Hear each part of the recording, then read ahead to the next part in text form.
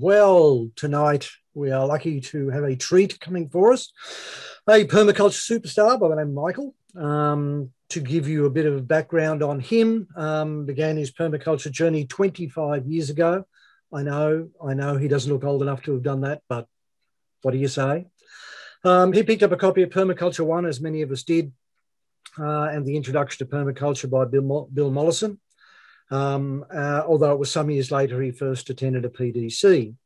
Uh, he's applied design principles and ethics of permaculture to his personal life and is now enjoying the wonderful opportunities of being able to apply them to his workplace and community. He enjoys learning about the many different facets of permaculture and design, and through his learning, uh, also come to love teaching. Uh, finally, jumped in after reading and applying what he had learned, uh, having done a number of PDCs, uh, followed by his permaculture teacher training with Rowe Morrow and Nick Ritar. Uh, completed the Advanced Permaculture Design Principle Workshop with David Holmgren, uh, an Advanced Permaculture Design with Dan Palmer, and the Forest Garden Design Intensive with Dave Jacke, I think that's pronounced, uh, as well as REX10 online with Darren Doherty, plus many more. Uh, aspires to be inspirational and practical as his teachers, uh, and continue to do other courses to advance his knowledge and to increase the value which he can provide to his teaching, projects, and consultations. Pretty damn impressive. So tonight he's going to be talking about garden fermenting. Uh, and this is the process of cultivating local microorganisms through simple, natural, and affordable methods. Uh, garden fermenting, both anaerobic and anaerobic, sorry, aerobic and anaerobic, allows gardeners to create all organic and high grade living fertilizers in the gardens. Uh, in this discussion, he will look at uh, where these ideas have come from and how they can be applied. This will include how to make some of the ferments and how to apply them. Uh, so it's designed to enable anyone to become a microbial gardener. Michael has been applying these ferments in his gardens for over 10 years and taught from experience not only how we can create these ferments, but how to use them for maximum effect. Thanks, Michael. Over to you. All right, thanks, Nev, and um, thank you for such a great introduction. Um, good evening, everyone. Um, as Nev said, my name is Michael Wardle. I'm the uh, principal up here in Queensland for Savour Soil Permaculture. I'm also honoured, though, to be able to uh, be the adult education coordinator at Northey Street City Farm. So I'm fortunate enough to be able to live and breathe in this permaculture space full time. Uh, which is actually pretty cool. Um, now I'll just share my screen. If you just give me a second. All right. All right. Can everyone see that? All right, cool. Thank you. All right. So when Nev asked, contacted me and asked me to give a bit of a, a presentation on the witchy brews, as, as, as we call them up here, um, you know, sort of like, you know, you've got half an hour to, to present, um, you know, something that I'd normally spend a full day talking about at least just for a basic introduction. So trying to wean it down to 30 minutes um, was pretty uh, interesting to be able to do that. So um, hopefully I can get across at least the basics within that time frame and give you some practical things to take home that um, that shows that you know how you can use this stuff in your in your own context. Um, so as I said, um, it's an introduction to, to, garden ferments, but what we call them around here is witchy brews. Uh, more so because when friends of mine do come over and come into my shed, it's bubbling and brewing all the time. Um, so it just it's a name that um, started and seemed to have stuck. Now, I'd actually like to start by acknowledging the traditional owners of the land where I am currently situated, which is the Kidabal people, and honour their elders past, present, and emerging. And hopefully that we can learn from these uh, lessons that are coming out and these wisdoms in the last few years so we can create that resilient, regenerative, and abundant future. All right. Uh, this is me on paper. Uh, well, that's some of me on paper. Um, so yeah, done a lot, but also learnt a lot as well. So, and it's constantly evolving at all times. Um, yeah. All right. So really coming down to this idea when you're talking about garden fermenting, comes down to this idea of natural farming. All right. So this is not a new concept. Um, a lot of people, it's becoming uh, really popular in the last few years with regards to brewing microbes. But I'm a bit of a history geek and um, found that over time, that you know people and cultures around the world it's not just in one particular area have been dealing and doing these practices for thousands and thousands and thousands of years this is not new right? And so it's really interesting to see the different variations that came up in different climatic zones around the world, coming up with the same outcome, but different ways of being able to do that. All right. So this is a picture of my garden. All right. Um, really quite abundant, uh, but it wouldn't be where it is if it wasn't for these garden ferments. It's a supporting mechanism that I use to actually help produce the food that we eat here. Um, and this is just from last year alone. So um, I am very diligent in weighing my material as it's coming out. Um, it, sometimes it's really quite uh, uh, quite painful because you know you got to sit there and do it. And but for me, when you're really wanting to teach this stuff, making it quantifiable is really key. So when I'm using not just the compost and the way I grow things, and there's a whole range of stuff I bring into play, tools and techniques, and the witchy brews are really part of it. But this was only done so over three ton worth of produce, and it was done on quarter of an acre. All right. So I have a half acre available to me, but only a quarter of an acre is currently under development. I'm slowly but surely spreading out over the site. I've been here now for eight years. All right. And that was just from last year from fruits, nuts, vegetables, herbs. Um, and of course, the honey and the eggs weren't had. Well, um, interesting enough, the, these ferments can be fed to the chickens through their water as well. It's actually helped boost their health. All right, which is really interesting as well. So, um, yeah, to make it quantifiable and show what's really going on. All right, now I always like to start when I'm doing these sort of presentations, whether it be with regards to soil or ferments or something else, with the lessons of the apple. All right. Now, the apple is really quite interesting because it was one of the fruits that's been tested time and time again for nutrient density over time. All right. Now, there was a study done in two, was released in 2003 by David Thomas for Nutrition and Health, where they measured the mineral depletion in vegetables and fruits between 50 year period from 1940 to 1991. And what they found was the copper had declined in the, in the, in the fruits and vegetables by 76% in that 50 year period. Calcium had declined by 46, iron by 27, magnesium by 24, and potassium by 16%. That's really huge. Now, one of the big things that came out of that study is, and of course, when you're tying it into the lights of Elaine Ingham and Dr. Christine Jones with her work, is that it really coming down to those microbes in the soil making the nutrients available um, you know, really supporting that those those microorganisms and that living biology to so the the plant and that biology can have that symbiotic relationship. So understanding that there's been this decline, and you know, if we are what we eat, then when you're looking at these figures in front of us, we wonder why they're starting to some of these issues that are cropping up from time to time. So to create that nutrient dense environment to feed my own children, all right. So I've got four teenagers. Um, I'm, I'm still up in the air about whether you know how how how positive of effect that is on my life at the moment, um, as they're constantly toing and froing within their own um, little uh, issues at the moment. But that being said, the idea about getting nutrient dense food on the table for them so they don't you know so they can stay healthy and move on, okay, is really really important to me and what I do here. All right. So what they came out of that study was that you would need to eat three times as much fruit and, and, four to five times as many vegetables to get the same amount of minerals as available in the same foods in the 1940s.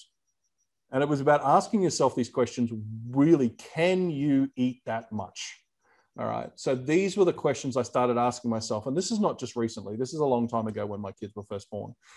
And um, so it was like, okay, what can I do to help support this, to grow this this food, to be able to um, to to um, support ourselves and feed ourselves. All right, now coming back from from the micro of my own property back up to the macro, and really coming down to where these ferments come from over time. So we, a lot of people have heard about Korean natural farming. It's become a very big thing in recent years, where certain tools and techniques are used to brew these, um, not just um, uh, they brew these um, indigenous microorganisms, um, so we can support our system. But interestingly enough, that's just one particular methodology. There's also European natural farming. So this is stuff that's gone on for centuries. All right. Um, I'm, I'm, a bit of a medieval um, history buff. Um, the 12th and 13th century during Constantinople period is, is my, my jam, as it were. Um, and they were using this sort of stuff to be able to support. Interestingly enough, they made a, they didn't understand what it was, but they knew it worked. And a byproduct of making what they called a peasant cheese actually, which we'll touch on later on, is um, built something called an LAB or lactic acid bacteria, which they in turn used on their garden. Now, they didn't understand why it worked, all right, but they understand it did work. So there's processes that come into play that can do that. All right. Now also Mesoamerica as well. Um, you know, different plants, different different climate zone, different techniques, but again, it came out with the same outcome.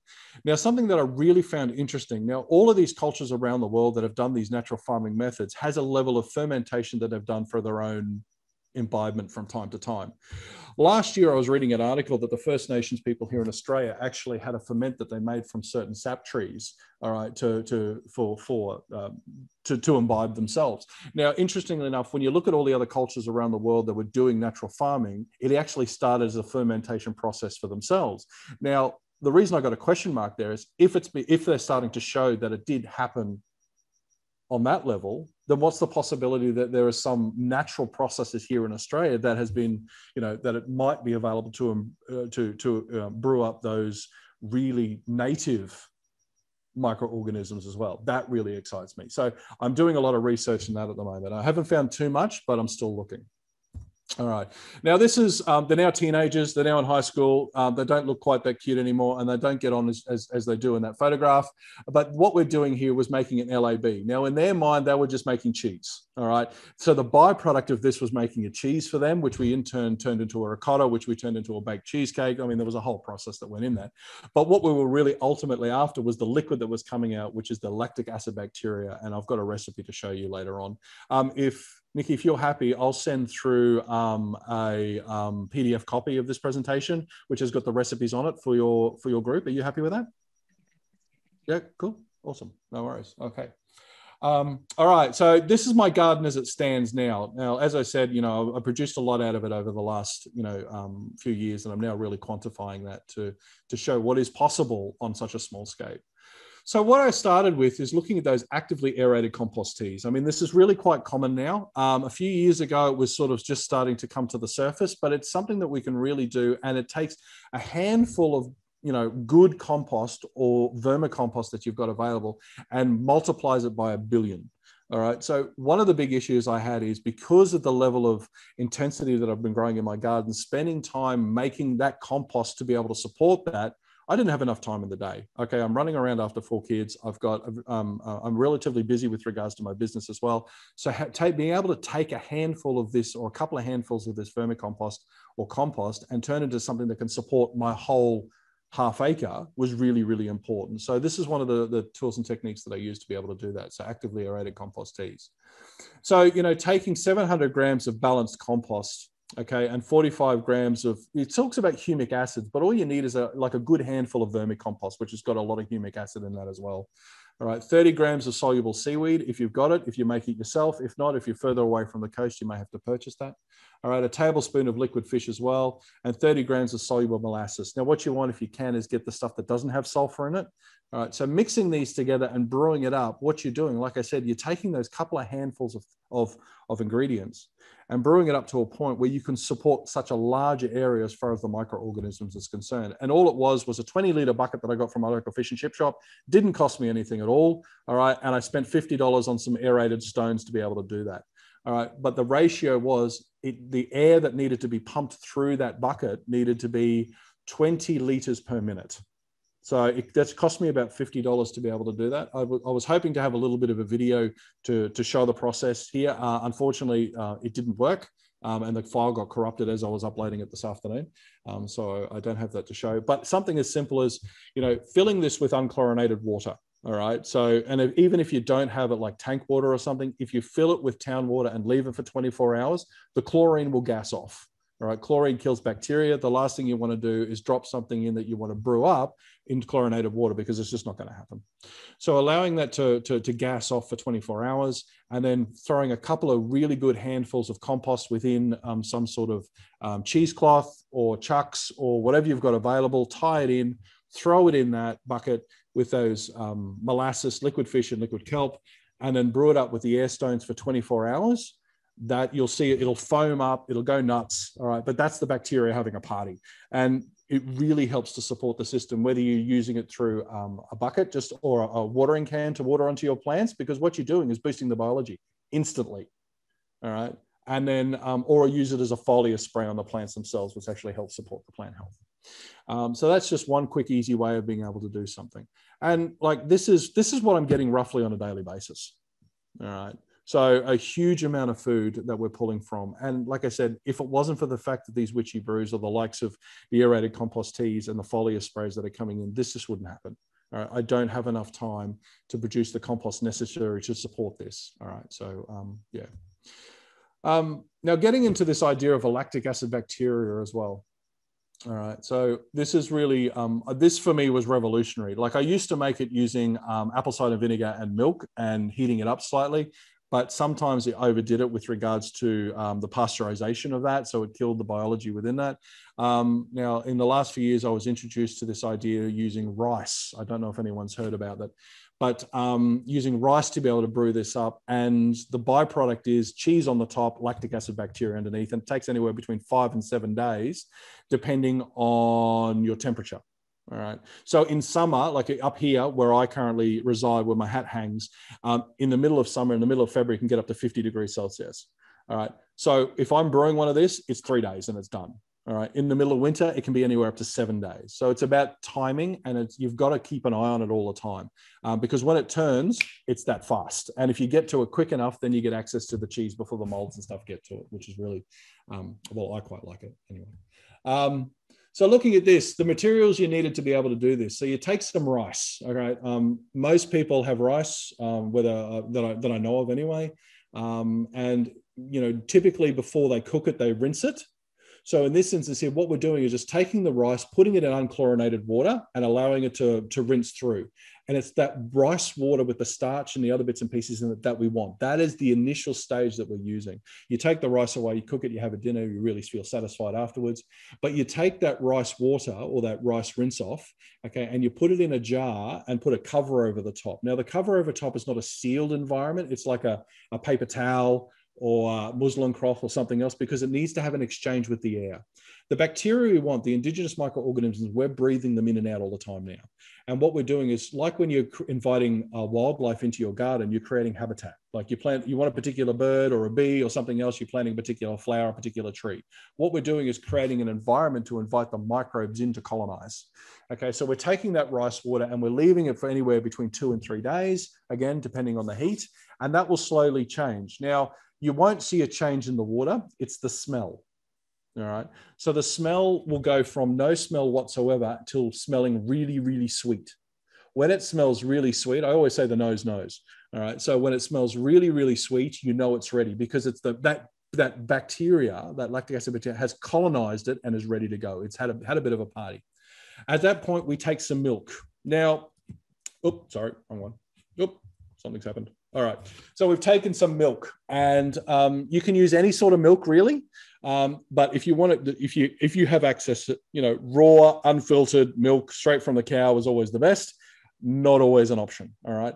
Um, but any milk will do, even the cheap milk, if that's all you have available to you, you can use this to be able to do this, and it will still work.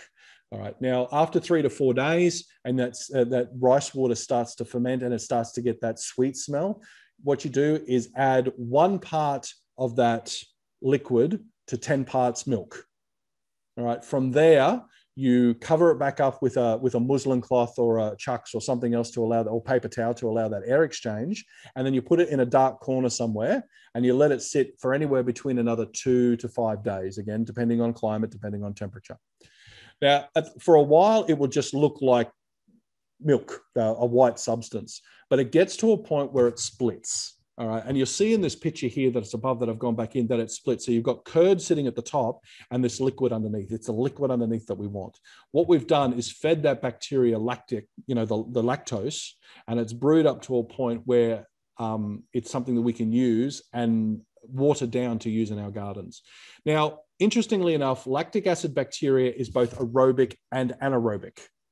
It can survive in both environments. So we brew it while it, is in contact with the air, we're not actively aerating it. So it's it, it is it can it, it breeds up in an anaerobic environment, which makes it really easy to store.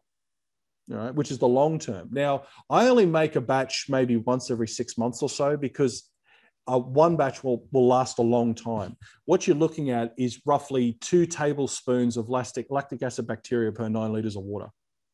All right. And you only need to apply it to your gardens, you know, maybe once every two to three weeks. It's really not a lot.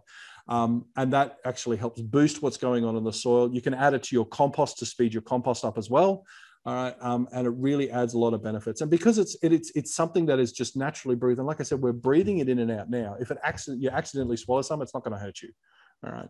Um, now, the way we're able to store that is now it's I've got here molasses or brown sugar. I actually find brown sugar better than molasses when it comes to storing. So we we effectively use an equal weight of brown sugar and the um, the, the the strained liquid once we've taken the cheese out um, and mix it together. And basically, we give the the, the bacteria uh, a sugar high, as it were.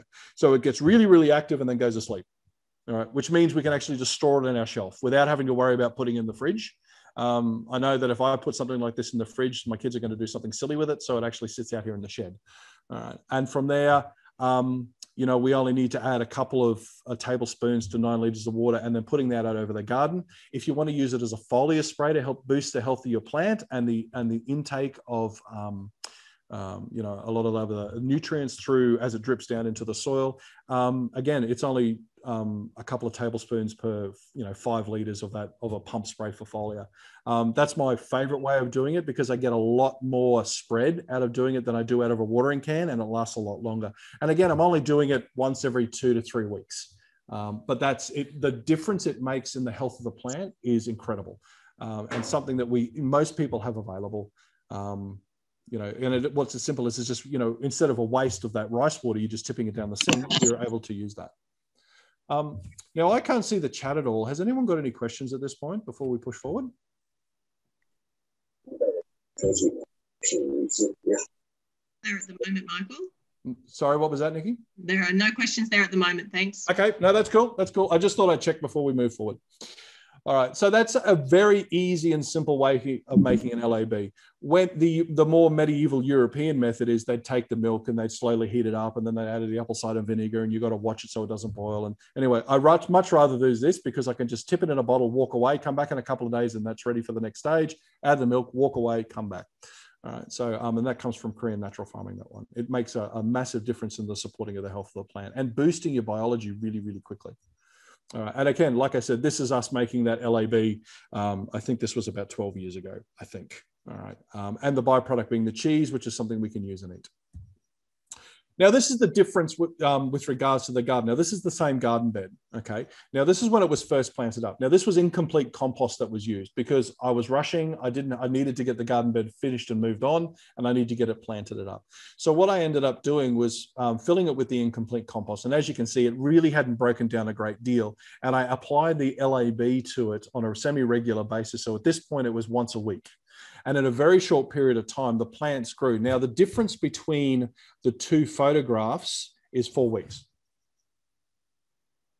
That's the difference that it can make. All right. Now, this was taken this time last year. All right. I didn't. I haven't got any recent photos, and I apologize for that because of, you know there's been teacher trainers, APCs, hospital visits. It's, it's just been chaotic. All right. So I, my garden is not looking the best at the moment. Um, but you know when you're looking at the differences that are happening within this space, okay, it's the same garden bed, and it's a very short period of time in between. That's the difference of adding the right biology to it can make, whether through a foliar spray of an aeroactively aerated compost tea, or in this instance here, um, an LAB. And the LAB actually helped break down all that organic matter that was in that garden bed and created the soil soil, that rich humic soil that's there now, which helps support the plants that are growing in that space next to it.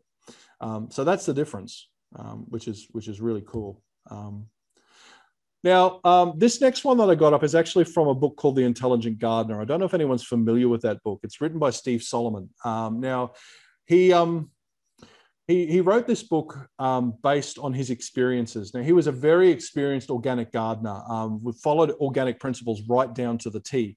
But what he found is his health was deteriorating. There was lots and lots of things happening. And what he found was that even though he was doing it as organically as he possibly can, the microbes weren't being fed enough to be able to allow that nutrients to be available. So he's come up in, in his book. I, I listen, I highly recommend that book. It's absolutely fabulous uh, for anyone who's interested.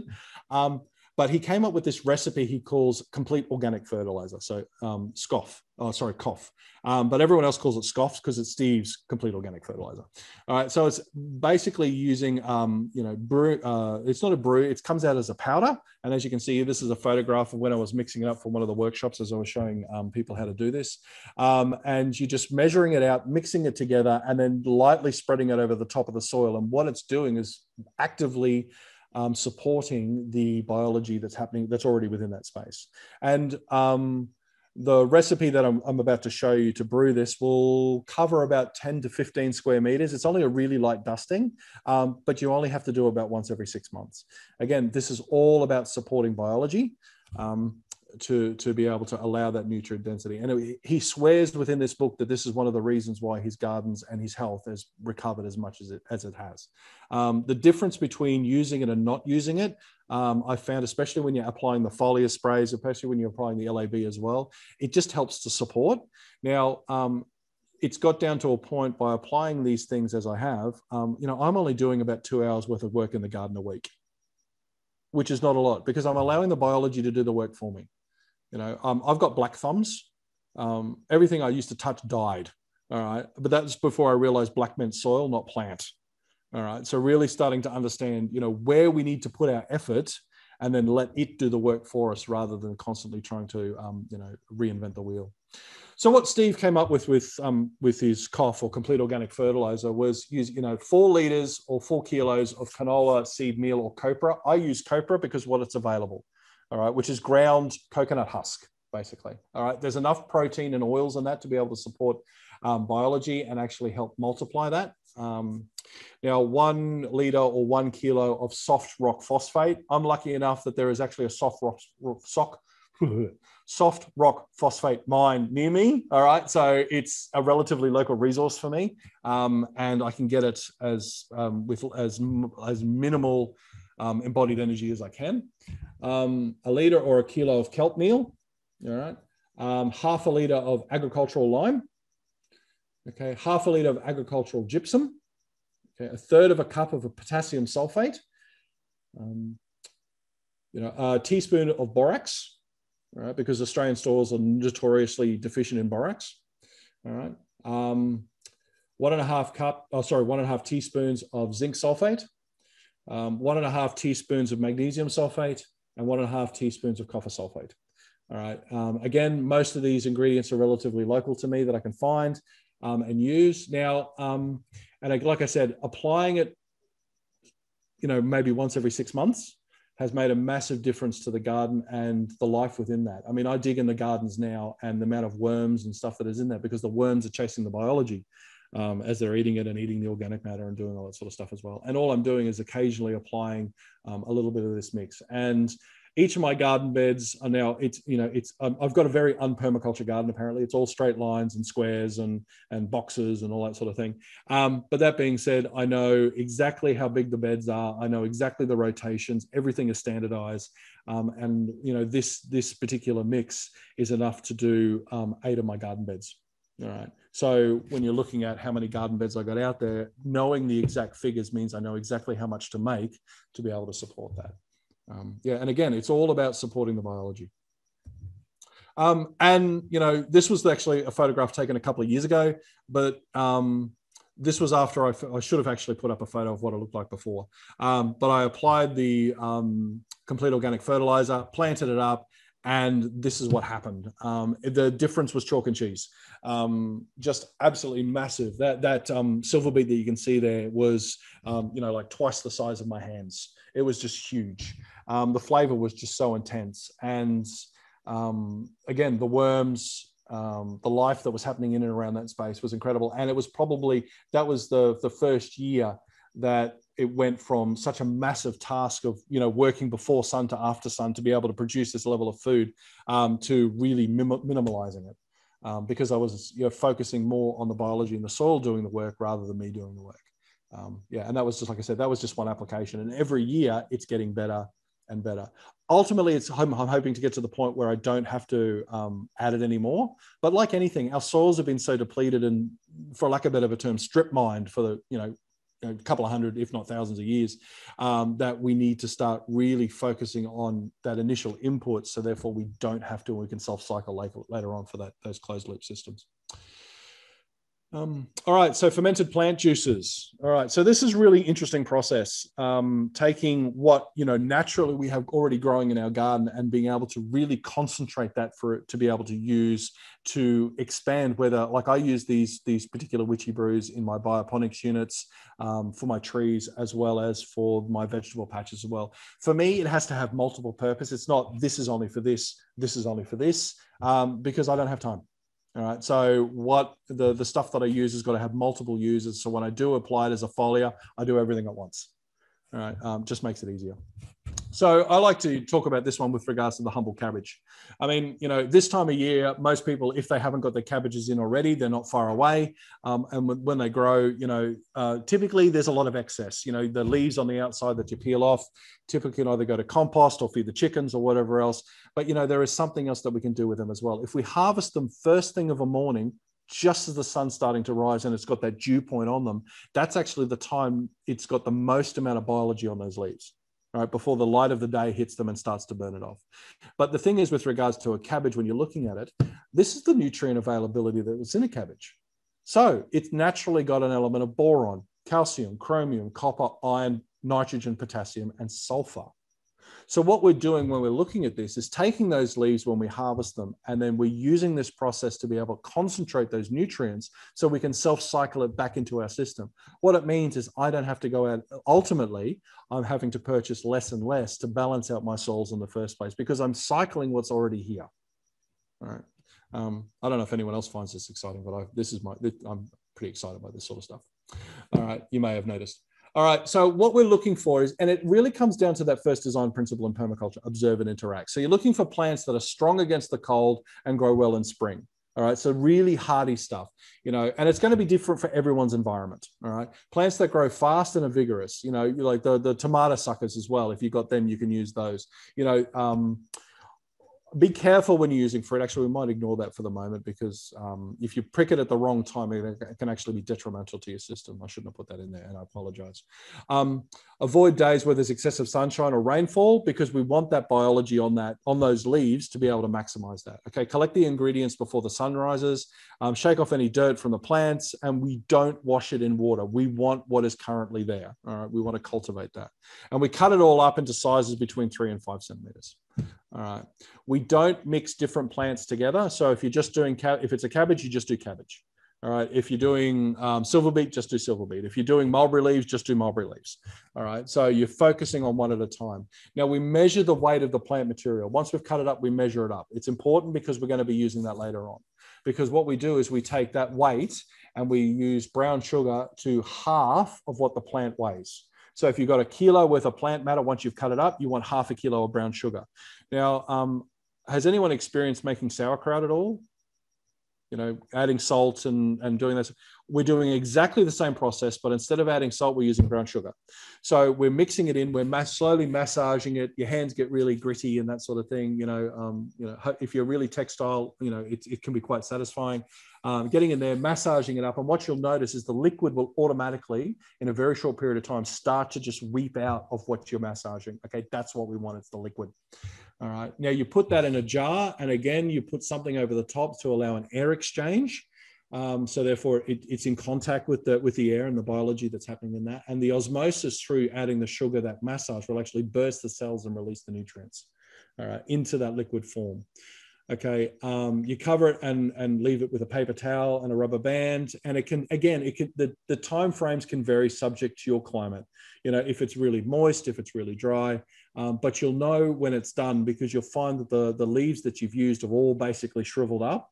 Okay, and there's this huge wad of liquid on the bottom. It's the liquid that we want, but the dilution of that, okay, is one to eight hundred to one to one thousand ratio it's really minimal. But what it is, is really concentrating that nutrient within that space and then being able to spread it out. So it doesn't take a lot to do to do a lot, if that makes sense. Um, and I'm using different stuff all the time. So different plants at different times of the year because it's just depending on what's available. And where you are in, in, in Sydney West is going to be vastly different to, to what I have up here in Laidley in Queensland.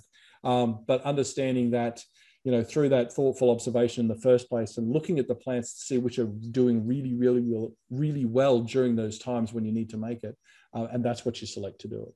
Now, when you're applying this liquid um, liquid plant for uh, liquid plant ferment, it's only during the initial stages of the plant growth and then the vegetative stage. So when the leaves and stuff coming through, not when it flowers and not when it fruits. All right, because what we're doing is we're using the leaf for leaf the leaf to support the leaf growth. Right. It sounds a bit wooey, I understand that, but there is method to the madness. All right. Like I said, they were doing this stuff during the Middle Ages. They didn't understand why, but it worked. All right. And we're now starting to understand some of the science in behind this. So, like I said, you know, one to 800 ratio, one to 1000 ratio, it really is quite concentrated and you can get a lot out of this. And it's stuff that you can grow. You're using stuff that you're growing on your own property. The only input might be brown sugar all right, which is really quite cheap and easy in the scheme of things. Okay, you store it in, in, in glass or in glazed pots. I use Vacola jars because at the moment um, everyone's getting rid of Vacola jars because they don't want to replace the lids and the seals because it costs too much. So they're just getting rid of them. So I've got a whole huge stack of them. I use that. Um, you keep the once it's finished, you keep it out of the sun. Um, you should keep it in. If you keep it in the refrigerator, it will last up to 12 months. All right. So if you don't leave it in the fridge, it'll only last a, a, month or so. But if you leave it in your fridge, it will last up to 12 months. Just make sure it's not your wine fridge or your, you know, um, you know, something that you go to regularly. Just keep it in somewhere separate. I always like to keep it separate anyway. So fermented plant juice will be ready between five and seven days. Okay, and store it in a cool, dark place. Really simple, but it has a lot and a massive effect with regards to supporting that initial vegetative stage of the plant. All right. Now, the next one we're going to be looking at, um, like there's so many different recipes to choose from. I've just cherry picked this to try and make it as easy as possible. Um, the fermented uh, fruit juice um, is the next one. Now, when we talk about leaf for leaf, we're talking about fruit for fruit. So the fruit is to support the flowering and the fruiting stage of the plant. Okay. Um, yeah, it's an easy way of being able to look at it. Um, so think of it almost like an artificial honey all right, it's what we're creating to be able to support this. So we're looking at you know traditionally active uh, activation of enzymes, uh, revitalizing crops and livestock. Okay, I've seen it used on livestock. I don't. I, occasionally, I'll put it in with my chicken water and and ducks as well, and it helps them boost their health. Um, but the thing is, the caveat is when you're looking at this, if you're using grapes, only on grapes. If you're using citrus, only on citrus, because there are acids within it that can actually damage other plants. All right, and we want to actually support the plant growth not um, damage it. I actually accidentally used citrus fermented um, fruit juice on um, an apple tree once, and it it it didn't do well. It didn't go well. It actually burnt the leaves. Um, it caused lots of issues and, the, and I had flower drop. And that was just my own stupid mistake because I wasn't thinking at the time. Okay, um, so what you're doing is you're preparing at least three different types of fruit, but you don't mix it during the fermentation stage. You only mix it afterwards. So, you know, looking at the likes of, you know, bananas and apples and I don't know, something else, pick one. I don't know, whatever you've got growing in your system. All right. So you're looking for with when you're looking at roughly a kilo worth of fruit ingredients, you're looking at 1.2 to 1.3 kilos of brown sugar. Again, you cut it up into those three to five centimeter bits and you massage the sugar into it. Um, and then once it starts through that osmosis, you put it in a jar, you cover it up with something to allow that air exchange, leave it three to five days, and then ultimately you'll end up with that liquid on the bottom. And that's what we want. And again, you're looking at about a one to 800, one to 1000 ratio water down. All right, so you really don't need a lot to do this. And that supports the flower and the fruiting stage of the plant, all right, to really help boost um, what's happening there. Um, make sure your jar is clean and, you know, sterilized. Um, because if it's not, it's easy to do. And I've done that myself. I just grabbed a jar and I filled it up and it had something else in it, which actually outcompeted what I was trying to do. Um, and it just went off. All right. Um, yeah, basically this is just going through what we just talked about. And again, it takes you know anywhere between five and eight days, um, depending on the ambient temperature of what's going on. Um, but we need to you need to you don't put a lid on it to uh, exclude the air. It actively needs that exchange with the biology um, with the air that we're like we're breathing in and out now. All right. I understand we're running out of time. I do apologize. Okay. Never asked me not to ramble on too much. So All right, almost done. All right, so soluble calcium. Okay, this is a really cool one. Um, I don't know if anyone's experienced this at all, but again, eggshells, very common product if you've got chickens. Um, but you know, you might be having, for example, uh, tomatoes that have got blossom end rot or something else like that. Typically, it's showing that you know it's not that there's a calcium deficiency. Typically, it's a magnesium deficiency, um, but um, the calcium is bound and unavailable to the plant this is something that we can do to actually really help support the plant growth, not only for that calcium deficiency, but calcium also good for cell development as far as the plant's concerned. And so doing this and being able to use it as a foliar spray on your plants actually can help support that. And because it's using um, the liquid calcium, and I'll show you how in a minute, um, it actually can actually create a little bit of a, a, film on the outside of a plant, which actually can help it from fungal, protect it from fungal spores as well, um, which is actually really cool um, for doing that. So what I do is I take eggshells and I put them in my mortar and pestle and I ground them down. Um, when I'm running out, actually, I tend to run a workshop and I show people how to do this and they come and grind down the shells and then we apply it. So, you know, it just makes it easier depending on how you want to do it. Um, but grinding down the shells um, and then applying apple cider vinegar. Now, whether you make your own apple cider vinegar, um, but I've also found that if you make a really, really strong vinegary kombucha, it will do exactly the same process. So you don't have to buy it if you're already making this stuff as well. But what you're doing is you're just adding the apple cider vinegar. All right.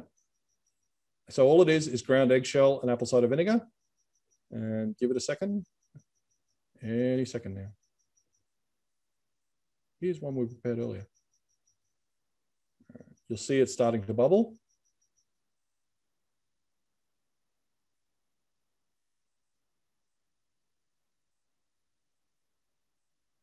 There we go. Boom. So what that's doing is actually extracting the calcium out of the eggshell and making it soluble within the apple cider vinegar. So you're taking something that's stable and turning it into something soluble, which you can use as a foliar spray or a soil drench or something else as well. And again, it's only a couple of tablespoons per nine liters of water. You really don't need a lot. All right. Um, and that can actually help support the calcium availability as far as the plant's concerned. The reason why we apply it as a foliar spray more than as a soil drench is because there's typically you find like calcium is is one of the elements that doesn't move very much within the soil. Um, and if it's bound, now the plants that are suffering from a calcium deficiency, their leaves and bark and stuff act like a skin. Like us, if we pour something on our skin, we can actually draw it in and it come within our system. It's exactly the same as far as the plants are concerned. So applying it as a foliar spray is a really quick, easy way of being able to do to, to fix a potential issue um, for while we work out what's going on for that long-term um, sustainability. All right. All right. Yep. Okay. We've done that. All right. So to add another layer to that, while you know coming down to the idea of you know thermodynamics energy cannot be created or destroyed but it can transform from one thing to something else now taking the same thing eggshells and apple cider vinegar and applying the eggshells you grind them up and apply heat so when you apply heat, there's a, a, chemical reaction that happens within the eggshell. And now you use it as a dry fry. So you grind up the eggshells, you throw them in your fry pan with no water or no oil, and you slowly heat up the pan. You'll notice that the crushed up eggshells will start to change color. So some will turn black and others will turn white. The white is calcium, the black is phosphorus. So there's actually an element of, yeah, and it's not really available until its heat is applied, which is something really interesting. So what you do is you do that, and then after you've got about 50% black and 50% white, you do the same thing and apply the apple cider vinegar, and you've got something called calphos, so liquid calcium and liquid phosphorus. Right, which is really good for supporting a plant's growth as far as it's not only um, cell development, but also fruit and flower development as well, um, which is something we can apply as a foliar spray. And again, excess eggshell, you know, something we can use. Most people have, um, and you don't necessarily have to use apple cider vinegar. If you brew your own really strong kombucha, it'll have exactly the same process. Um, and here's the recipe to be able to do that. Um, but the only difference is between um, soluble calcium and calphos is that you've just applied the eggshells on a dry heat uh, for a period of time until 50% is black, 50% is, is, is that white. Um, and that's the only real big difference. Now, it will keep um, for some time. Um, like I said, you know, I typically have this, I've still got some on shelf that's, um, I don't know if you can see it. I'll get it really close. Um, this is the stuff I made for that little video. It's already started to settle down, but I'll leave this sit for two or three days. Um, some places recommend, and I think I've actually put it in there. Um, yeah, it says seven to 14 days. Um, again, subject to heat, humidity, all that sort of stuff comes into play as well. Um, while the lid is on, it is only very loose. All right, that's to stop it frothing up and bubbling over the top and me having to clean up a mess later on. Um, so it's really, really loose, still allowing for an air exchange. Um, and that is something, like I said, we can use as a foliar spray to help support um, our plants. Um, now that's what I had come up with something really quick and easy for people. That like it can get really really specific as far as these these these witchy brews are concerned where you can take a plant and really refine it. If you find that there's a deficiency within your system uh, after a period of time you can really start identifying and narrowing down the different nutrients available for your system. So you can take a plant and then you know effectively through um, differentiation narrow down particular elements that you can actually use to support your system. Um, but the ones I chose here are really quite general and broad and really easy to apply um, that anyone can use. Um, and I really like this quote finishing with Masanobu Fukuoka that, you know, the ultimate goal of farming is not the growing of crops, but the cultivation and perfection of human beings, where, you know, really us as stewards of this system, and if we really want to create this clo- as closed loop as we possibly can, we not only need to look at the damage that has been done, but what we can do to support that and help rebuild those systems so that ultimately it'd be more self-replicating for us for that resilient, regenerative, and abundant future. Right. Now, that was a lot of information in a very short period of time, I understand, but does anyone have any questions? That was absolutely fantastic, Michael. That was just amazing. Uh, there were some questions in the chat box. I know Arun had one earlier. I'm just going to scroll back through to find it. Please, thank you. Uh, but I'll actually stop recording here as well. Okay.